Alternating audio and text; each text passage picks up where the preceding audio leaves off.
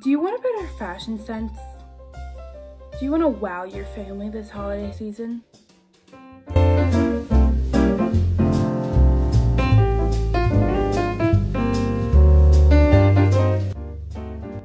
I'm Macy Brassell and today I will be styling Noah Biswell. He's agreed to let me style him so I can give him a little holiday spice. Now, before I get started, let's review some styles. I picked out three pretty basic, pretty trendy styles for today. First, we have the skater. You're probably pretty familiar with this style. I see a lot of people with it because you can dress it up, dress it down. It's not too hard to achieve. Next, we have E-Boy.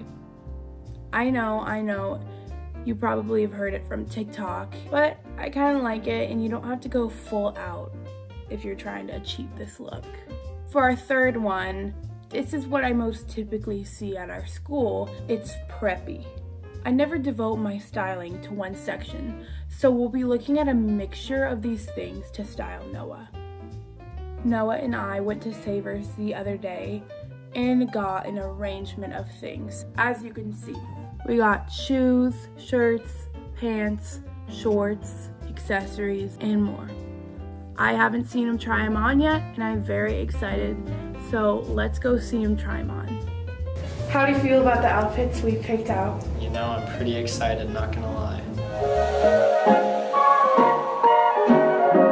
Oh, the weather outside is frightful, but the fire is so delightful. And since we've no place to Scale of 1 to 10, how do you like this outfit? I'm gonna give it a 9. I really like it. Scale of 1 to 10, how do you like this outfit?